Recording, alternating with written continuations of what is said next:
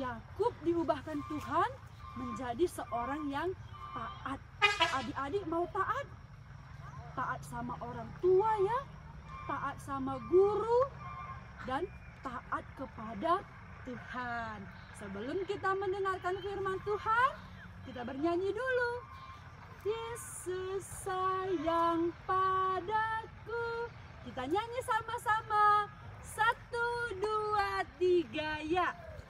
Yesus sayang padaku. Alkitab memberitahu walau ku kecil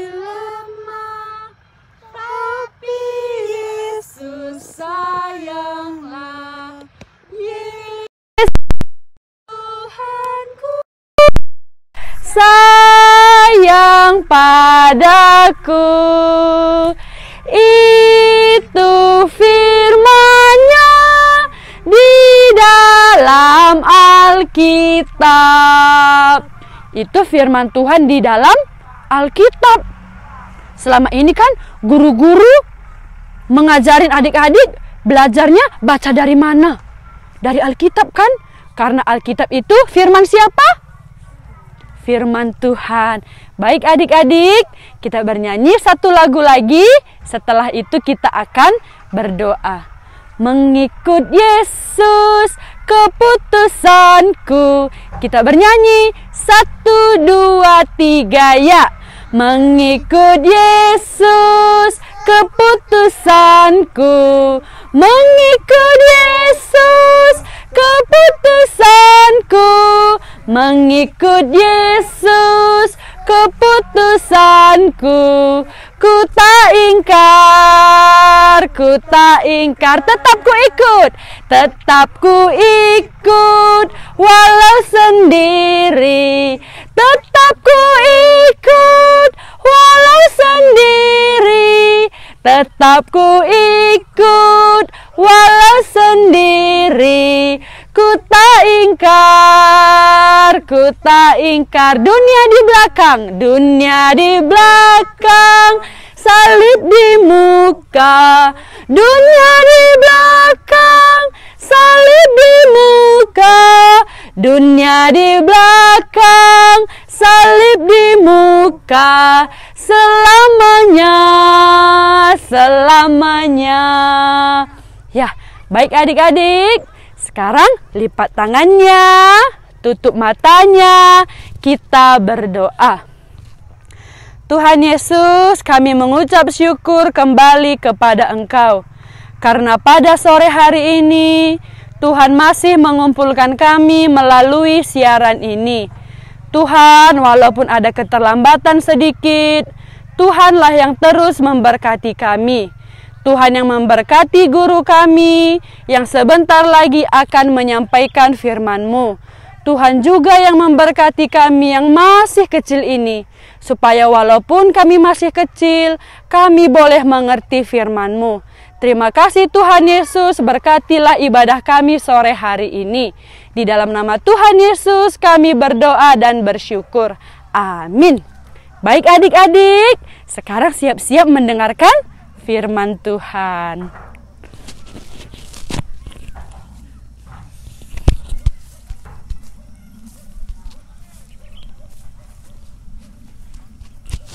Halo.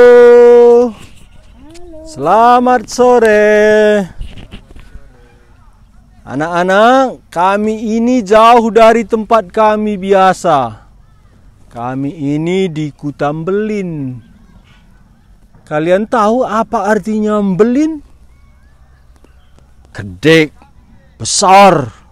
Ah, inilah tempat kami hari ini. Kami tadi ada acara doa rapat di sini. Ini Kecamatan Lau Baleng. Sebelah kiri saya di sini sudah dekat ke Aceh Tenggara. Di depan saya sudah dekat ke Kabupaten Langkat. Itulah tempat kami walaupun anak-anak sekarang belum ngerti. Nanti setelah besar, oh di situ. Anak-anak, kalian sudah pernah dengar cerita Abraham? Wah, Abraham terkenal di seluruh dunia. Abraham hidup kira-kira 4000 tahun yang lalu. Abraham disebut bapak orang beriman. Abraham anak-anak dipanggil Tuhan keluar dari Ur Kasdim. Waktu itu namanya belum Abraham tapi Abram. Tuhan berkata, "Abram, tinggalkan kampungmu, rumah bapakmu, pergi." Abraham taat. Tuhan tidak ngomong, mengucapkan, menunjukkan tempat daerah yang akan dituju Bapak Abram. Tapi dia taat walaupun tidak mengerti. Dan janji Tuhan kepada Abram, Aku akan membuat keturunanmu sangat banyak. Wah, janji Tuhan anak-anak, janji yang paling disenangi Bapak Abram. Kenapa? Karena dia sudah kakek-kakek, umur 75, tak punya anak apalagi punya cucu.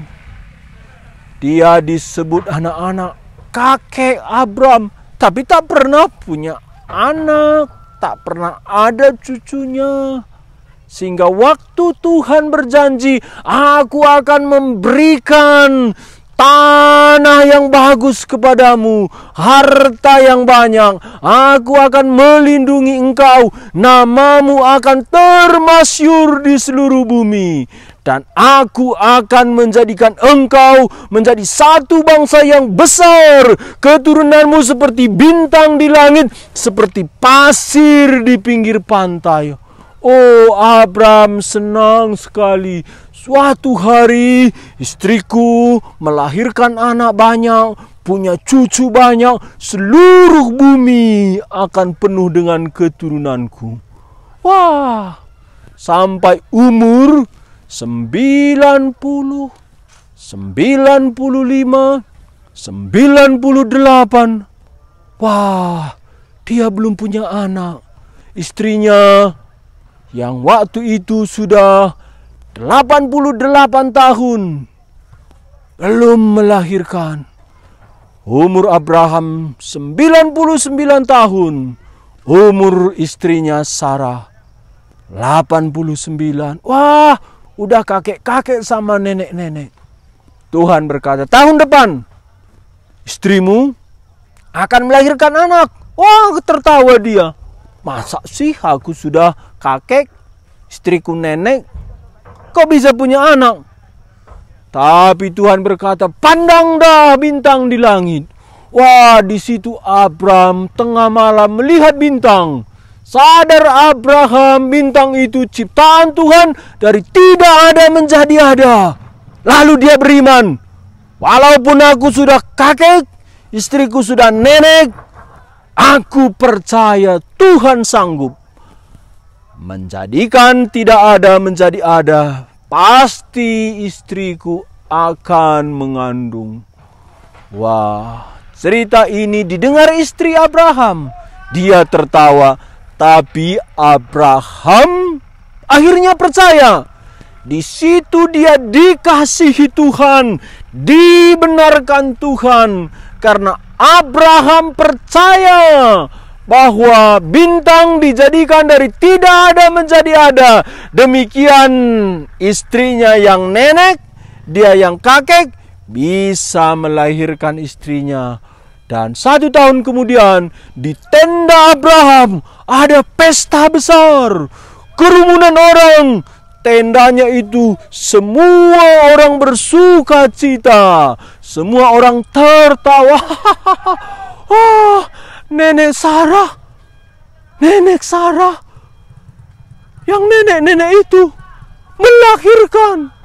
Oh, Bapak Abraham yang sudah kakek, istrinya yang nenek melahirkan. Di tenda itu para bidan membantu Sarah tekan perutnya, tarik napas. Nenek-nenek melahirkan lucu tidak? Rambutnya sudah putih. Tarik napas. Ah, sakit. Tenang, Nek. Sebentar lagi lahir. Bidan-bidan menolong. Tarik napas, Nek. Oh, satu dua, satu dua, push. Lahirlah anaknya. Kira-kira siapa namanya anak-anak? Siapa namanya di pria Abraham? Ishak. Tahu tidak kalian Ishak siapa artinya? Ishak artinya tertawa.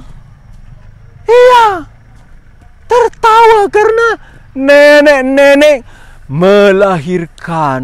Wah, Abraham memuji Tuhan, dibuatnya pesta. Dia senang janji Tuhan digenapi. Anaknya Ishak dia gendong pagi, sore. Akhirnya Ishak menjadi bertumbuh besar. Mungkin dia sekolah, kelas 1 2 akhirnya dia anak remaja. Abraham tentu makin bangga sama Ishak. Anaknya sudah remaja. Ishak diajari Abraham hormat kepada Tuhan, taat kepada Tuhan. Dan Ishak mau mendengarkan perintah papanya. Ishak hormat kepada Tuhan. Suatu hari Abraham tidur nyenyak, tenang di tendanya. Datang suara, Abraham, Abraham, Abraham bangun. Di sini aku Tuhan. Abraham, besok pagi bawalah anakmu Ishak anakmu yang kau kasihi, anakmu yang tunggal. Abraham berkata, "Ya Tuhan." Tuhan Allah berkata, "Abraham, bawa anakmu ke Gunung Moria. Di sana dia persembahkan menjadi korban bakaran bagiku." Wah, anak-anak, Abraham begitu terpukul. Tuhan minta anaknya dipersembahkan menjadi persembahan apa tadi anak-anak? Korban bakaran dibakar. Yang minta siapa? Tuhan. Hati Abraham sangat sedih, kacau. Betul anak-anak dia taat. Pagi-pagi dia bangun, dia belah kayu bakar, dia ambil pisau, dia ambil bara api, dia bangunkan anaknya Ishak. Ishak, anakku yang kukasihi, mari kita pergi ke Gunung Moria. Ishak berkata, untuk apa papa? Ini masih gelap. Abraham berkata, kita akan memberikan persembahan kepada Tuhan. Di Gunung Moria kita akan memberikan korban bakaran. Ishak berkata, "Iya, Bapakku." Lalu Ishak tanya kepada Abraham, "Apa yang perlu aku bawa, Pak?" Papanya Abraham, "Engkau akan bawa kayu bakar ini." Oh, Ishak taat, dia taat. Dia ambil kayu bakar, diletakkan papanya Abraham ke punggungnya mereka, berjalan jauh. Anak-anak tahu berapa jauh Abraham dan Ishak berjalan. Tiga hari perjalanan. Setelah tiga hari perjalanan, Ishak mulai melihat Gunung Muria. Ishak mulai curiga. Papaku Abraham bilang kami ke Gunung Moria untuk mempersembahkan korban bakaran. Tapi korban korban bakarannya kok nggak ada ya? Oh, mulailah hati Isa bertanya-tanya. Papa, Papa bilang kita akan memberikan korban bakaran.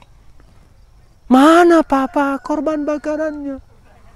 Abraham berkata, Tuhan akan menyediakan.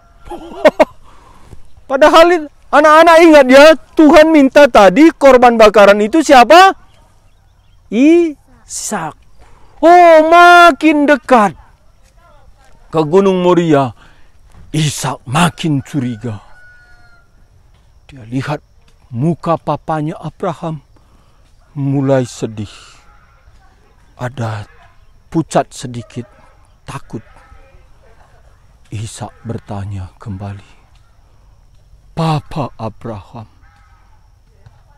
di sini sudah ada ranting, sudah ada pisau, sudah ada bara di mana korban persembahannya? Abraham sampai di Gunung Muria dia terus bergumul. Dia pasang kayu bakar. Tidak ada korban bakaran lain. Lalu Papa Abraham ingat perintah Tuhan. Tuhan minta supaya anaknya Ishak dipersembahkan sebagai korban bakaran. Abraham dengan hati sedih berkata kepada Ishak, "Anakku Ishak, anakku yang tunggal, anakku yang kukasihi." Tuhan berkata, "Engkaulah korban bakaran bagi Tuhan. Aku harus menyembelih engkau, membunuh engkau, membakar engkau." Aku tidak mau tidak taat kepada Tuhan. Aku mau mentaati Tuhan. Ayo kalau kalian mau dipotong, mau kalian? Enggak ya. Tapi Isa dengar ya. Isa berkata, Ya bapakku Abraham, kalau Tuhan berkata demikian, kita taat kepada Tuhan. Ikatlah tanganku, ikatlah kakiku. Lalu Abraham mengikat tangan Ishak, mengikat kaki Ishak, lalu diletakkannya lah di atas kayu bakar. Abraham hatinya sedih, jantungnya mau pecah. Dia keluarkan pisau yang tajam putih. Dia mau membunuh anaknya. Saya tanya anak-anak, kira-kira Abraham mau tusuk di mana? Ayo. Pasti di tempat yang cepat mati Abraham perhatikan. Mungkin dia pegang lehernya. Dia sambil tutup mata. Karena waktu Tuhan Yesus di atas salib mati, Bapa di surga memalingkan wajahnya. Abraham pegang leher Isa, ambil pisau yang tajam. Dia tidak berani melihat anaknya Isa. Dia angkat pisau itu, dia mau menyembelih anaknya. Eh, jangan, kata Tuhan. Tuhan berkata, Abraham, Abraham, jangan kau apa-apakan anakmu. Aku sudah melihat ketaatanmu kepadaku. Sehingga engkau tidak menahan anakmu yang tunggal. Anakmu Ishak dipersembahkan bagiku. Karena itu aku menyebut engkau bapa orang beriman Aku akan memberkati engkau dan seluruh bumi diberkati melalui engkau. Dan Tuhan memberikan domba ganti Isa. Isa jadi dipotong tidak?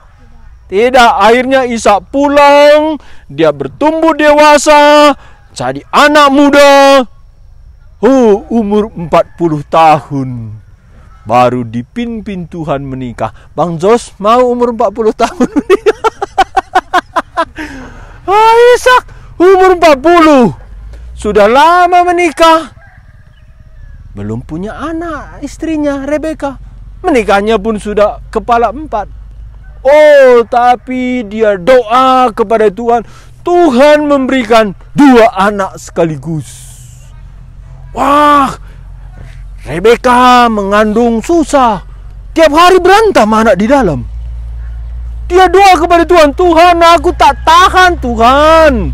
Memang aku minta anak kepada Tuhan, tapi bukan begini yang ku minta Tuhan.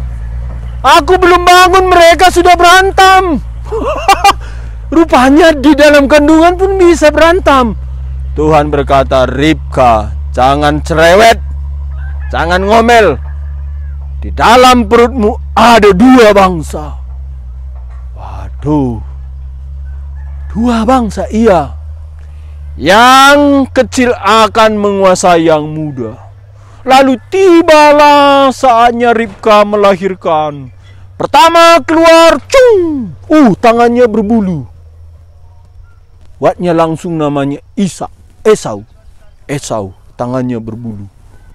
Tapi yang tangan berbulu ini tidak langsung lahir semua. Adiknya merebut kembali. Oh, akhirnya adiknya duluan lahir.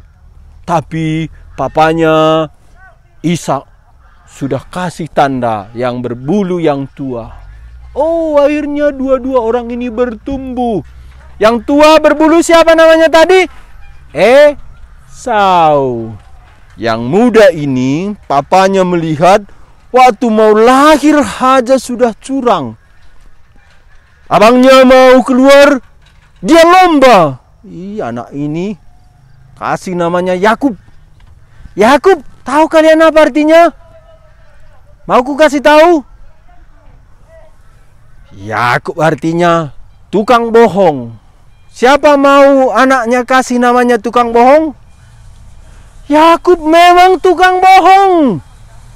Suatu hari setelah papanya Ishak tua, Ishak matanya sudah rabun. Tidak bisa lagi melihat. Dia bilang gini, "Anakku, anakku yang tua, yang tangannya berbulu, suka berburu, aku mau mati." Tapi sebelum aku mati pergi berburu. Masa hasil buruan baru ku berkati engkau Esau. Oh Esau langsung semangat berburu. Tapi datanglah Yakub. Dipantu mamanya dia masak kambing. Lalu dia datang kepada Ishak. Papa Ishak ini hasil buruanku sudah masak. Oh, Ishak kaget. Oh, anakku Esau. Cepat kali kau dapat buruan. Cepat kali masak. Yakub berkata, Tuhan memberikan aku cepat mendapat buruan. Tapi yang dimasak tadi bukan hasil buruan kan? Apa dimasak? Kambing dekat rumahnya ditangkap. Yang masak bukan Yakub bukan Esau, mamanya. Tapi Yakub bilang, "Oh, aku Esau. Aku tadi dapat buruan. Aku masak ini." Oh, Ishak papanya, "Betul kau, Esau." Betul. Dia takut suaranya kedengar. Ishak suaramu suara Yakub, tapi kau bilang Esau. Sini sini kau. Ku cium dulu baumu. Oh, baunya bau Esau. Suaranya Yakub. Rupanya Yakub sudah pakai baju abangnya Esau, biar bau Esau. Tanganmu sini sini. Oh, lalu langsung dibuat Yakub kulit daripada kambing yang masih berbulu. Dia tutup tangannya dengan kulit kambing yang berbulu. Ini papa, pegang tanganku. Oh, ini memang berbulu seperti Esau. Baunya bau Esau. Tapi suaranya Yakub. Yakub berkata, "Papa, percayalah. Makanlah. Diberkatilah aku." Akhirnya papanya makan. Yakub nggak tenang ini. Nanti waktu dia kasih papanya makan, abangnya Esau bisa datang. Yakub bilang, "Sudah siap, Papa? Cepat-cepat makan, Papa." Akhirnya selesai makan, Yakub berkata, "Papa, diberkatilah aku. Lalu Ishak papanya pikir itu Esau. Dia memberkati Yakub. Dia berkata, diberkatilah engkau, ladangmu akan turun embun, diberkati anak cucumu. Tidak ada yang bisa mengalahkan engkau. Amin. Wah, berkat itu sudah diterima Yakub tapi dia ngaku Esau. Lalu datanglah abangnya Esau. Dia masak hasil buruannya, dia bawa kepada papanya Isa. Papa Isa ini makanannya makan. Ah, kata Isa. Aku sudah ditipu adikmu Yakub. Dia sudah bawa masakan bagiku, aku sudah memberkati dia. Lalu Esau, aku juga berkati papa. Ishak berkata, hanya satu berkat yang kekal. Dan itu sudah kuberikan kepada adikmu Yakub. Engkau tidak ada lagi berkat. Ngamuklah Esau. Memang Yakub persis seperti namanya. Dia sudah membohongi aku dan papa kami. Aku akan bunuh dia. Setelah papanya Isa meninggal, dia mau bunuh Yakub. Dia ambil pedang Yakub. Disuruh mamanya pergi. Abangmu Esau mau membunuh engkau, pergi Yakub. Yakub tak tahu pergi ke mana. Ada takut dikejar abangnya Esau. Dia pergi ke hutan, jalan sendirian tengah malam, tertidur dia di sana. Dia sedih, dia takut, dia rindu mamanya, dia takut ada singa. Malam-malam, di tengah malam, Yakub melihat satu cahaya, ada tangga naik Wah, Yakub berkata di sini Tuhan. Menjelang pagi, Tuhan datang kepada Yakub. Yakub menangkap Tuhan, bergulat dengan Tuhan. Yakub tidak membiarkan Tuhan pergi. Menyongsong pagi, mereka bergulat terus. Yakub berkata kepada Tuhan, Aku tidak mau melepaskan engkau sebelum engkau memberkati aku. Dan Tuhan berkata, dengar anak-anak, karena engkau bergulat dengan Tuhan dan engkau mengalahkan Tuhan, namamu hari ini ku ganti. Engkau bukan lagi Yakub, tapi Israel. Ini nama paling agung kepada manusia. Karena arti Israel putra mahkota Allah. Diubah Yakub menjadi anak-anak Allah, dosanya diampuni karena dia berjumpa dengan Tuhan. Pertama dia melihat tangga jalan ke sorga. Tuhan Yesus, akulah jalan. Lalu dia bergulat dengan Tuhan Yesus. Dan dia tidak mau melepaskan Tuhan sampai dia diubah Tuhan. Anak-anak, kalian perlu diubah Tuhan. Kalian perlu datang kepada Tuhan Yesus adalah jalan. Kalian perlu minta Tuhan mengubah kalian seperti Yakub pembohong menjadi anak-anak Allah. Kita semua anak-anak orang berdosa seperti Yakub. Kita mungkin bohong, kita mungkin malas, kita mungkin tidak taat kepada orang tua, tapi Tuhan mau mengubah kita. Yesus jalan kepada Allah Bapa. Tuhan Yesus mati di salib. Dialah yang bisa mengubah hidup kita. Kita yang berdosa seperti kalian yang kadang bohong, malas, bisa diampuni Tuhan, diubah Tuhan. Di atas salib, Tuhan Yesus mati mengganti kalian. Dan dia bangkit. Inilah yang mengubah hati Yakub. Mengubah Yakub pembohong menjadi Israel kematian dan kebangkitan Tuhan Yesus sanggup mengubah hidup kalian anak-anak. Kalian perlu datang kepada Tuhan Yesus. Dia adalah jalan untuk mengubah hidup kita, untuk mengampuni dosa kita, untuk menjadikan kita anak-anak Allah, untuk kita beroleh hidup kekal di sorga. Cerita kita hari ini Abraham taat, Ishak taat, tapi Esau tidak mau dengar firman Tuhan.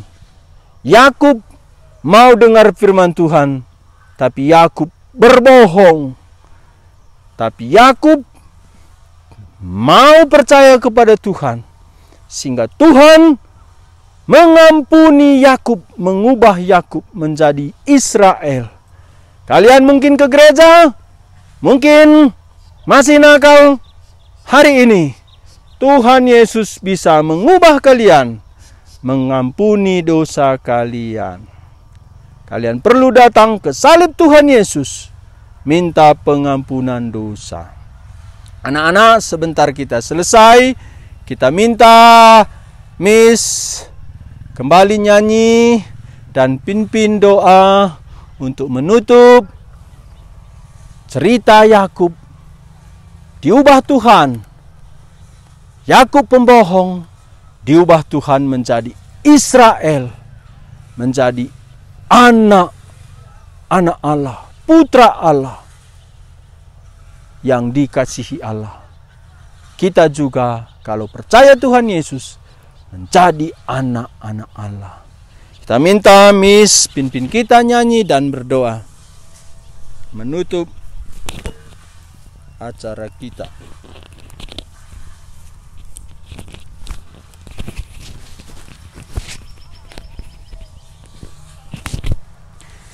Ya, baik sekali adik-adik. Kita sudah mendengarkan firman Tuhan. Jadi sekarang adik-adik sudah ada janji dan tekad belum di dalam hati untuk setia mengikut Tuhan? Ada ya? Jadi adik-adik, mulai dari kecil kita berdoa, kita minta supaya Tuhan pimpin hidup kita untuk mengerti suara Tuhan dan hingga besar nanti kita mau menyerahkan hidup kita untuk menjadi alat Tuhan. Sebelum menutup ibadah kita, kita bernyanyi satu lagu lagi adik-adik. Tuhan Yesus, aku berjanji. Ya, kita bernyanyi. Satu, dua, tiga, ya. Tuhan Yesus, aku berjanji. Jadi muridmu yang setia rajin berdoa, baca Alkitab, selalu bersaksi bagimu. Akal iblis aku menolak firman Tuhan aku menurut mulai sekarang sampai selamanya tetap setia pantang mundur.